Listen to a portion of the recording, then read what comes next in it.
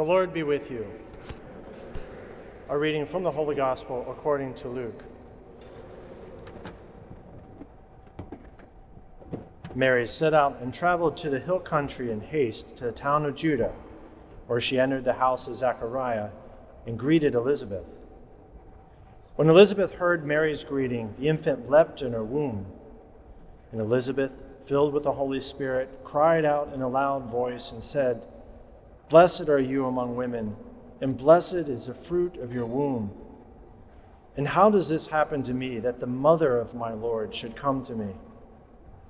For at the moment the sound of your greeting reached my ears, the infant in my womb leapt for joy.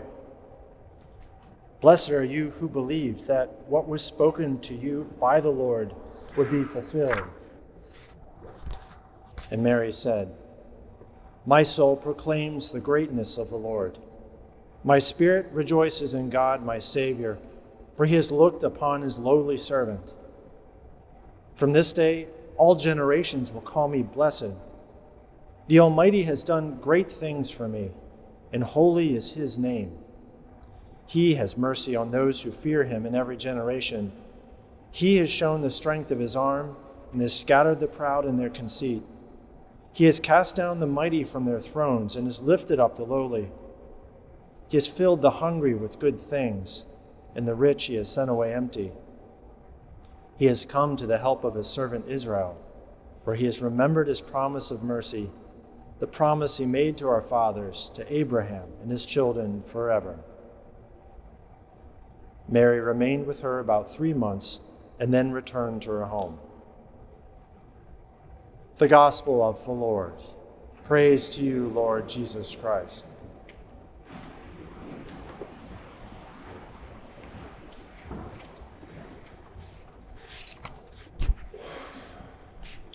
The gradual, the psalm, responsorial psalm that, that the choir sung there. Psalm 44. It's in your program. If you didn't get one, make sure you can get one in the, in the back here. Hearken, O daughter, and see, and incline your ear. For the king greatly desires your beauty. All beautiful is the king's daughter as she comes in, robed in cloth of gold. That's a song. That's Old Testament. That's before the Blessed Virgin lived, before our Lord lived, by a thousand years ish, give or take 200 or something like that. And already it's like it's being woven into the tradition of the, the Jewish tradition, this anticipation of this daughter of God, this daughter of the people, the daughter of Zion who would become, who would come robed in gold Incline your for the king greatly desires your beauty. We, we, you know, we are celebrating the feast of the Assumption of the Blessed Virgin Mary, that at the end of her earthly life, she was assumed into heaven, body and soul. Not like us, when, when we die, our soul goes up and our body stays here. Eventually, or we believe, following the book of Revelation that there will be a new heavens and a new earth, and this separ- this unnatural separation of our body and soul will be ended, and we'll be reunited with our body, but not the body like it is now, but a glorified body, as, as Christ had when he rose from the dead. He had a glorified body. That's why he's passing through walls and stuff like that. But since well before this time, our Lord was looking forward to this moment when He would come among us. But He didn't just show up, He wanted to be intimately woven into the fabric of humanity. And He didn't just do that randomly. And we know that right here from this, this passage. The king's daughter, she comes in robed in cloth of gold, robed in glory. And there, there, the, more of the psalm talks about how the, this beauty of this, this chosen woman, this one is chosen specially by God uh, for, for her beauty, for her majesty. You know, we know that that's the Blessed Virgin. And who else, who else would, he, would the psalm be speaking about?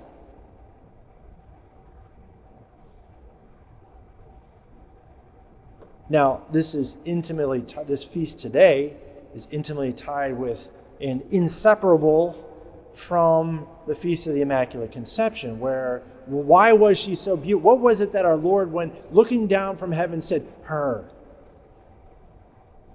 He didn't just look around to find, okay, let's see how everybody's doing, and we'll find one that's uh, some woman who hasn't had any children yet, and we'll just pick one of the, the, about as good as we can find out there at this time, because it's about time. So we need to find someone. No, no, no, no. That's not how God works. That's how people who don't look for, don't look ahead and don't plan ahead work. That's me. The last minute stuff. God had all eternity to be thinking about this. And he wanted a soul with whom he could be so intimately united, so close to, in a way that he was longing for that moment. Just as he walked with Adam and Eve in the garden before the fall, he wanted to do that again. And not just with one, but all of us, but he needed to start with somebody. He was coming as the new Adam. St. Paul speaks of that. And there's a new Eve, too. The church fathers and early Christian testimonies speak about this since the depths of the beginning of Christianity. They were discussing having topics like this before the church even started to formally celebrate Christmas. It's like that old, we're going back that far. This is ancient tradition. This isn't something that somebody in the year 700 AD decide, you know what, I think personally that. No, no, this is coming from the beginning. And it, and it wasn't without precedent, too, because the apostles themselves, what they, they watched Jesus go straight up into heaven, body and soul. We also, in the book, uh, we from the book of Kings, Elijah does the exact same thing right in front of Elisha. And all the apostles and the early Christians would have known that. There's a, and there's a, there's a scene, look it up in the book of Kings, where Elisha is assumed into heaven, this chariot comes and carries him off. And also, another individual, Enoch from the Old Testament. Now, he doesn't, the book of Enoch doesn't show up in our scriptures. It's an extra scriptural thing, but in scripture itself, in the Bible, it does speak about Enoch who was ascended into heaven. And so, this early tradition wasn't just, didn't come out of nowhere. This was believed from the get go has been it's something that's been believed consistently for the last 2,000 years. But as I was saying, it's so intimately tied in with the Immaculate Conception that how can God, you, you, could, you wouldn't imagine God becoming incarnate in, I don't know, something other than someone who he had already, through his grace, by, as a special gift, preserved from original sin. That's the church's teaching about the Immaculate Conception, which also dates back to the very first centuries. Eastern Church, Western Church, both. Now, what would it be like? What I mean, when we're right. By the way, this is this is our our visual prompt right here. We have the that's the assumption there. The angels lifting her up, uh, gathered around her, the moon at her feet, the sun behind her. Here she's clothed in white and in blue, but but in the, the book of Revelation, which we read for the, the first the first reading, the way the, the, the, previous chapter ends up, and behold, the Ark of the Covenant appeared in the heaven, and there's this thunder and lightning is and then it goes straight into what was just read now. And a woman appeared, clothed with the sun, and the moon at her feet. I can't remember if it also says the 12 stars around her head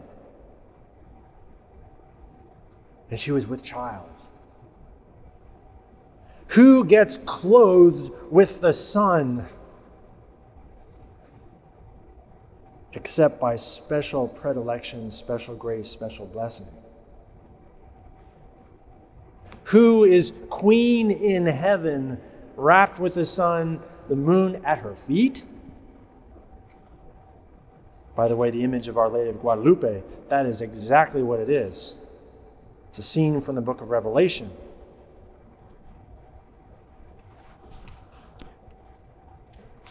Now, all this is, is to Mary's glory, her this it's and and and it's something that maybe it's almost it might feel like it almost kind of like distances her from us, like, oh my gosh, she's just so uh, like otherly and, and how could anyone have even like had a conversation with her on earth because it would have been like they're like, no no the sun is like it's too much and it, it, it would be but that's not how she came across here on earth we know that she was there at the wedding of cana she was there with the apostles. She would have been helping them. Uh, she would have had a role in, in supporting the apostles in their ministry during our Lord's lifetime. After our Lord's ascension, they're back. He already ascended, and they're back. Where are they? They're, they're back in the, the upper room in, uh, in the uh, Mount Zion. There's the one north, so excuse me, it's one upper corner of the city of Jerusalem. And as Luke mentions, and all were together, gathered together with, in prayer with Mary, the mother of the Lord. And that's when the Holy Spirit came.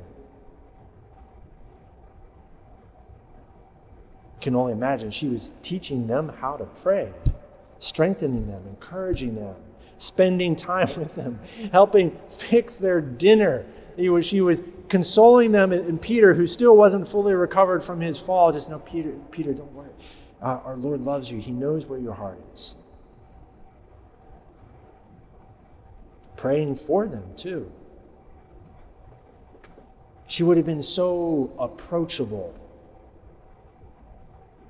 and so beautiful. It's the innocence of having no sin. We, we see it, we you see it in a baby's face. There's, such a purity and such an innocence there. But it's all but it's different because it's a baby that has had no experiences of life, no wounds, hasn't been let down yet, hasn't been damaged or, or corrupted in some way. Mary would have had that kind of face, but having been through life, with this immense wisdom that she would have gained from spending 30 years with our Lord. Wisdom and prudence and kindness honed over years through suffering as well. And that would have changed her profoundly. Yet, she wouldn't have lost her innocence in any way. I remember listening to a, talk by Bishop Fulton Sheen from, it was a recording, and, and I, I, don't know exactly when he gave it, if it was here in New York or, or where it was. Maybe it was on one of his TV shows. But, but he, he was saying how sinners kind of complain that, well, you know, the saints, and I'm a sinner, I can't relate to them, and they can't really relate to me because I'm a sinner, and I just, other sinners, they get me, and, and that's who I need to kind of hang out with. And, they understand me. Maybe sometimes we feel a little bit like that, like we're feeling, you know what, you, you know, I can hang out with the down here in the gutters of New York. That's a particularly wretched place. But then, he, but uh, Bishop Fulton Sheen went on to say, but, but you have to understand sin. Sin separates us from God. It separates us from other people. It's, it does internal damage. And so, actually, the ones who can least understand sinners are other sinners. Because they're, they're messed up and they don't have the heart, they don't have the, they're, they're, they're, they've got, they're, they're not aligned with God. They're, I mean, by the way, we're all sinners, by the way. But then he said, but you know who really understands the sinners are the pure of heart because they see the goodness that's inside. They can see that spark, what they can see in the soul of a sinner, the thing that God loves in that soul. And the saint can really love somebody else the way God does, because they themselves are filled with God's love. So the one who really understands the sinner and knows them and has compassion and empathy for them is the saint. That's we can just take that and extend it one step further. Well, what about the one who in this earthly life had no sin beside our Lord? That's what the Immaculate Conception was. Our Lady would, would she would be able to see in every single individual what her son saw, what God the Father saw. And she'd be blowing on that flame, that spark, in order to, to light it, have it, have it burst into something greater, nourishing it, feeding it, protecting it, counseling it, coaching it. And not in some kind of soft way either. Not just we, sometimes we might think that Mary was really soft. No, no, she she wanted. She she knew that there was little time, and there were so much greater, more wonderful things that the disciples and now us could know and experience and have if we open ourselves up to the Lord. So she can be kind of insistent, as a good mother would be.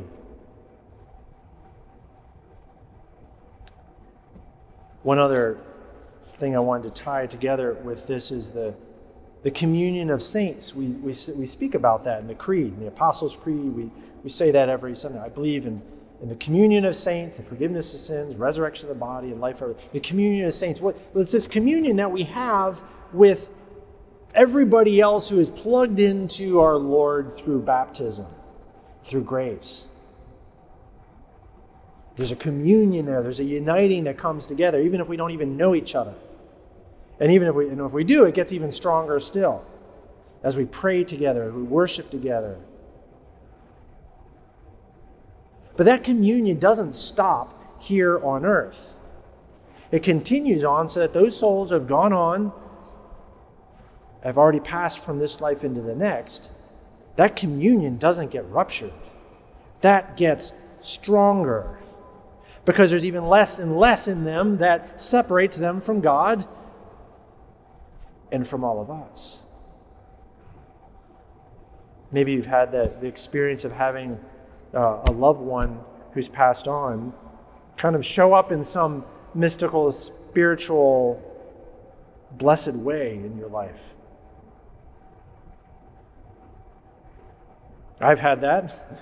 I know some of you have have as well. It's like someone that you that's so dear to you that they become present in some way, just and an accompanying. You know they're there. They're, you know they're you experience their love again, their nearness.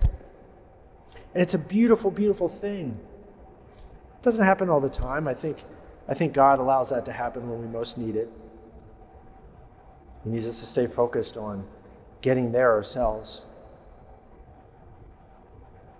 But this communion of saints, of those who have passed on to heaven, also apply, can, extends out to those who we don't know. Other saints we're just getting introduced to other individuals that are in heaven praying for us that, that we've never known and won't know till we get there.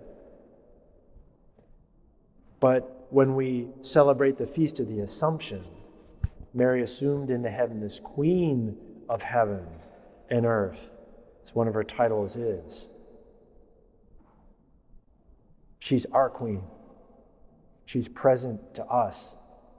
And she wants to be there and show up spiritually, mystically, in our lives too. Is we're her children just as much as our Lord was. She took that to heart there at the foot of the cross when, when Jesus turned to her and with John standing there and said, Woman, behold your son. Son, behold your mother. the churches and the church fathers and Christianity has always looked at that as being more than just Mary and John, the two of them, but as John is the stand in for all the rest of us.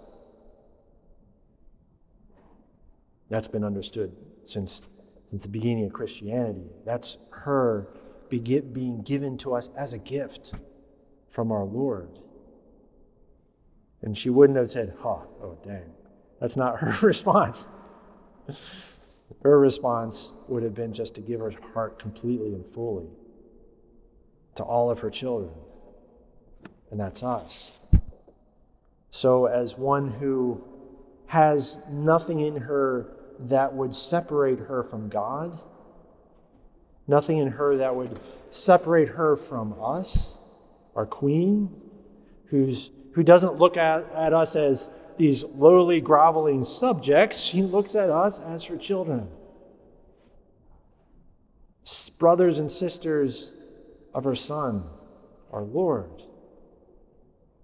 There's, there's so much depth to this, to this feast, and I don't want to ramble on much, much longer here, but, uh, but I, I just wanted to just encourage you all to be open to her to show up.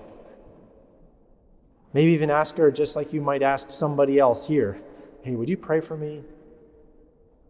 We can do that with her. We can do that with the souls of those of our brothers and sisters who have gone on before us. Hey, would you pray for me? Help me to learn how to love your son the way you did. And we use the words of the Hail Mary prayer from, right from Scripture itself. The Holy Spirit speaking through Elizabeth, who is filled with the, the inspired by the Holy Spirit. And who am I that the mother of my Lord would come to me? So, this feast of Ascension, uh, of the Ascension, we give, we give glory to God. We thank Him for this great gift of a, such a, an amazing mother.